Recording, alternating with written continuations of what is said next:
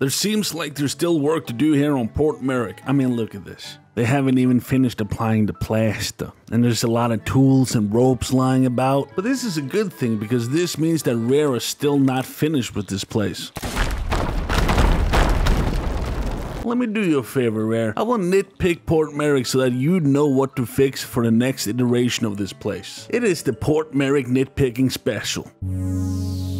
Port Merrick is new, it's fresh, it's very recently built, and it already has cobwebs. Not tiny ones either, big ones, seemingly everywhere.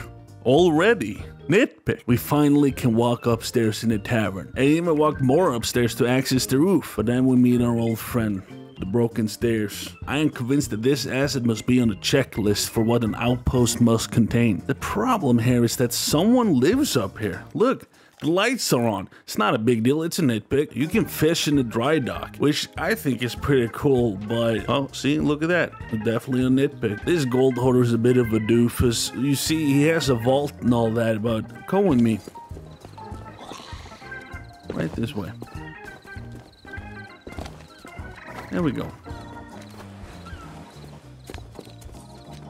He left a bag of gold on his roof that we cannot pick up nitpick. I hope they're gonna finish the roof of this poor merchant. But the nitpick comes where she chooses to stand right underneath one of the gaps in the little of a shelter she got, which does her no favors if a storm comes by. At least the shipwright has finished one of the barrel lids. Only took five years. Nitpick. These are nice roof shingles, quality roof shingles. Would be a shame if they clip through the environment though. Nitpick. Nah, this bothers me. Who lives up here? Whoever it is, they're loaded with a pair of cannons.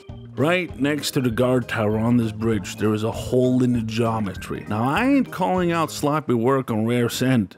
But I am. Look at that. We finally got smoke coming out of the chimneys. Not the tavern, though. Uh, couldn't give the ta tavern some smoke, love, could we? There's still time, though. Still time. Question is, who lives here?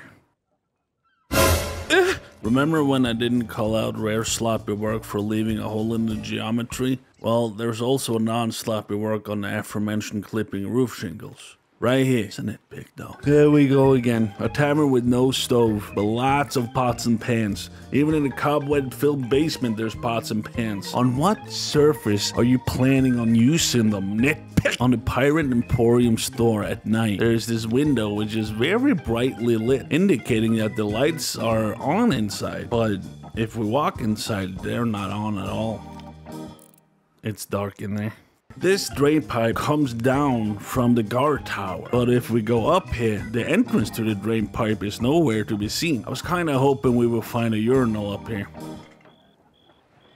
Um. Alright. Alright, I, I guess the tavern lady can cook up here, but if I were to nitpick, there's plenty of space behind the counter for a stove if you just remove all this junk. I'm just saying. It's more strategically responsible. Here's another drain pipe that can't actually drain.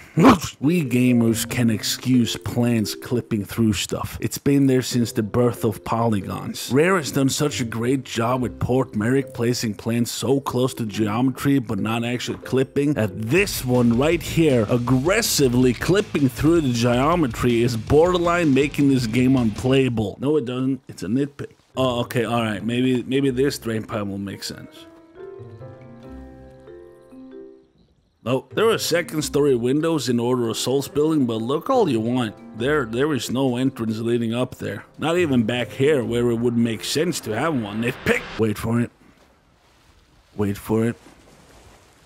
Wait for it nitpick. Even with smoke coming out of the chimneys, we can still look down them and see that they don't lead anywhere other than to the roof. This is a quality nitpick because it's an easy fix. Just add a small disc, make it black, and don't allow it to absorb light and pop it inside the pipe. Boom, illusion back in full swing. The lighthouse on Port Merrick is kinda weak. From a distance, you'll notice that the town lights are more eye-catching than this wrinkly dink of a light source. In reality, the lighthouse light should be like this.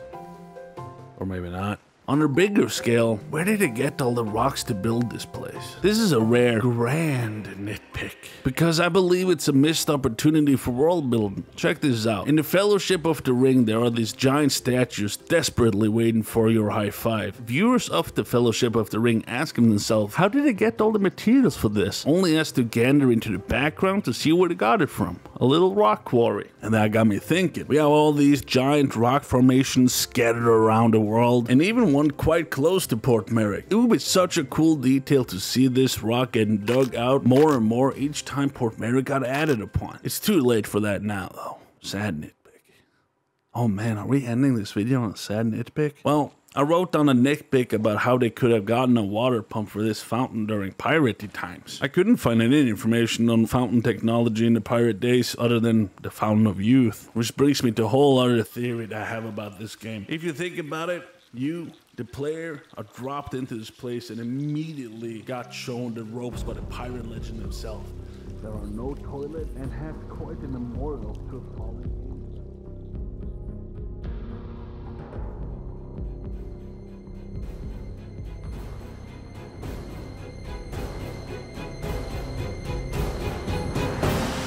I live here now.